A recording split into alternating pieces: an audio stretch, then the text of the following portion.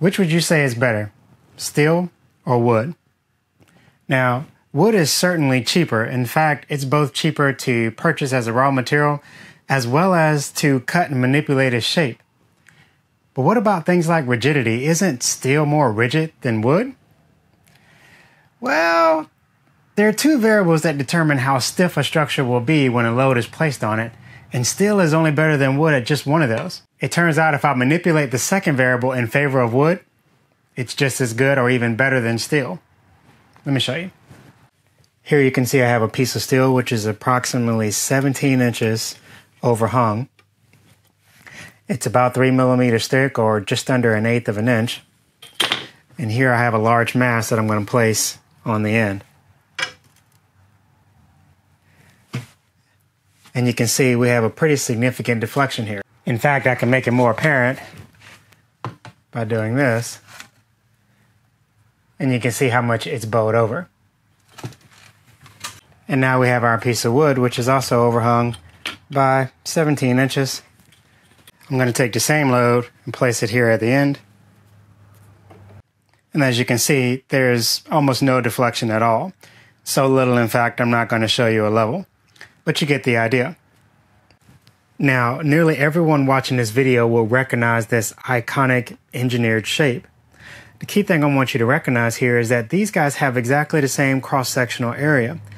The biggest difference is I have rearranged the material in the wood to maximize something called the moment of inertia. Moment of inertia is basically a measure of how stiff a particular geometry will be when a load is placed on it. There's a great video on YouTube that explains the I-beam's geometry and why it's shaped the way it is. So if you want to see that, I'll put a link up here as well as a link in the description. It's made by Real Engineering, so I think you'll enjoy it. The important lesson here is that geometry is just as important as material. And when you are looking at your projects that have failed, you have two things to consider, right? One, it could be that you need a stronger material, but it also might mean you need to reconsider your geometry. Speaking of materials, I do want to point out something important here. You should notice that I didn't say that the wood would be as strong as the steel, but that it could be made as rigid as steel when given the advantage in geometry. And that brings me to my second point, which is rigidity and strength, although they often come together, are not the same thing. You can have a material like rubber, for example, which is has almost no rigidity at all, but it can be very high in strength. Right? But when you're selecting a material, you do want to be aware that there are also materials which are very rigid and stiff, but don't necessarily have the strength.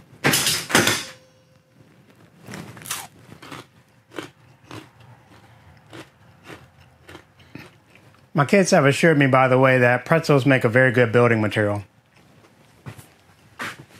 That brings up a couple of important points here. If you're doing something fairly artistic, you're working with glass, which is a very brittle material, you want to be aware that the rest of your structure needs to be very rigid. Because if you are bending or flexing the glass at all, it's not going to give very much before it simply breaks. But let's say you're not working with glass. Let's say you are working with a ductile material like steel uh, steel will bend, and if it's bending more than you want, you might be tempted to buy one of the higher grades of steel, something that's really strong. But unfortunately, all steels have basically the same modulus of elasticity, that is, how flexible the steel is. So you'd be really disappointed to buy this high grade of steel only to see that it bends exactly the same amount. The same rules apply to wood as well. Different species of wood will have varying amounts of flexibility as well as strength. And so it's good to look these numbers up, see not only how the strength of the various species of wood compare, but also how their modulus of elasticity compares. And you don't need a calculator and you don't need to be an engineer to figure this out. You just need to put the numbers side by side and see which one is greater. And that's going to give you an idea if you change from one wood to the other, whether that new wood is going to be more flexible or stiffer. The next thing I want to talk to you about is triangles. Triangles are your friend. If you take a look over here, you'll see just about any engineered structure you look at implements triangular shapes. Again, you don't need a calculator for this. You just need to implement some simple concepts. So I've got two structures. that I've made one with a simple triangle on the inside, and one with a more traditional gusset style that we see many DIYers use. I'm going to bend both of these structures and show you the difference that it makes. By the way, this one has 9% more material than this one. Here I have another test rig for you. In the back, you can see that the back end won't be allowed to pivot, but the front will be allowed to pivot on this pin here. I'm going to create myself a little bit of leverage so I don't have to use a lot of weight. And using our same weight from earlier, I want you to notice how much deflection we have there. We're looking at uh, about two centimeters.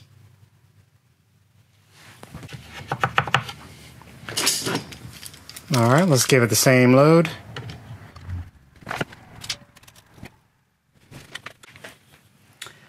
And here we have a deflection of, you know, 0.8 centimeters approximately. Maybe you can see that number better than me. But you can tell it's significantly different.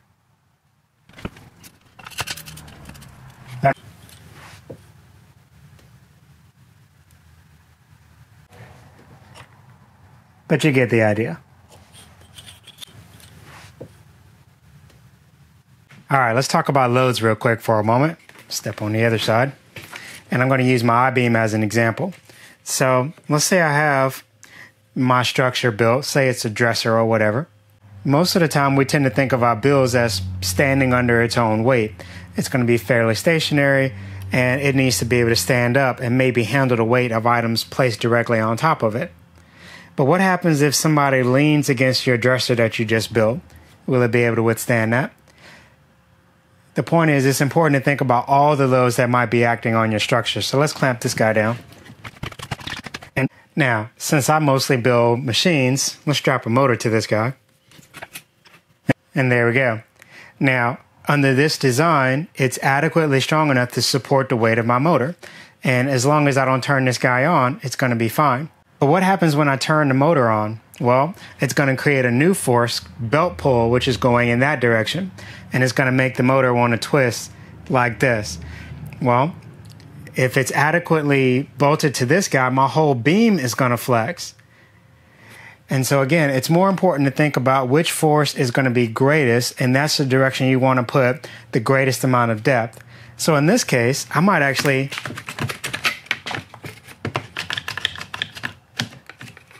make my structure like this. Using the same geometry, I was able to create much more stiffness in the direction of the greatest load. So this is important to think about with all of your DIY projects. Think about the highest possible load and how you're going to counteract that. And don't always focus all of your strength in the direction of gravity because gravity may not be the greatest load your project will experience. All right, bonus tip for you.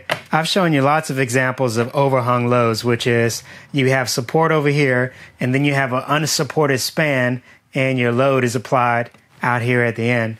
But this is actually something you should avoid at all costs, although I see it all the time in many of the DIY projects that I see online. You can simply avoid this by adding a triangular gusset right here or shortening that overhung length and adding your gusset or changing your design altogether and making it fully supported. So this is something that you want to be thinking about. Always keep your eyes out for that diving board. Even though this is nice and deep, you should think of every overhung load as a diving board. Do you want that? And how do you avoid it? And when it's absolutely required, you do something like this to prevent the deflection. For those of you who don't know, this video is a part of a series that I've been working on where I'm talking about applying engineering concepts to all kinds of DIY level projects. And in the last video, you saw me working on this prototype where we developed this guy as sort of a dual workbench. Now, if you want to know more about this, you need to watch the first video. But I do want to give those who have been following a quick update on the workbench. I listened to your feedback, and quite a few of you asked if there was a way to keep both benches horizontal instead of having one rotate and having to be cleared off. But it was really important to me that I didn't have a bench that opened out into the workspace. I just did not want to occupy any more space in the shop. And so the footprint was critical.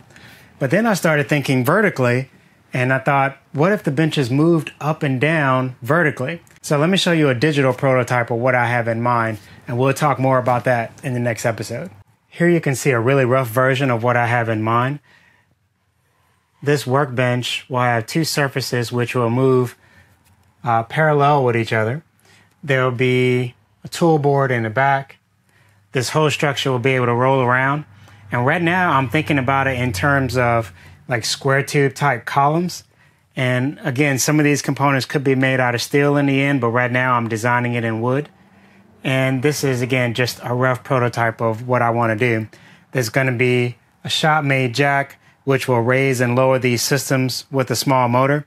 And this will allow me to elevate and lower both benches by pushing a button. And again, I'll be able to put it at exactly the height that I want. So I'm really excited about where this is going. This is probably going to end up costing more than the first design. So I got to think through how I want to budget this guy. But I'm pretty excited about where it's going to go. And it's a fun project so far. So thank you for your input. And thank you for challenging me to think a little bit harder and come up with something even cooler, I think. So if you know someone working on DIY projects, whether they are putting shelves in the closet or making power tools like I do, share this video with them and maybe we can save them some of the headaches and pains that come with making mistakes. Anyway, thanks for watching. We're going to call this bonus footage. I wanted to show you my shop made lathe, which is made almost entirely out of wood, as you can see. It's powered by a DC treadmill motor. And there are just a few areas where I've added metal. This is aluminum, aluminum, and of course, some of these items are steel. But that allows me to get the high density of strength in just the areas that I need it. And then the wood structure uh, is still stiff enough to do the job. In fact, this base here has a double I beam structure. And you can see that in the picture that I'm going to put up here on the screen for you. It's powered by a DC motor from a treadmill and it works great. I've been really happy with this project. So I just wanted to show you I practice what I preach. This is a good implementation of using cheap materials where, where it helped and then uh, adding steel where it made a difference uh, as far as its size and whatnot. Thanks for watching.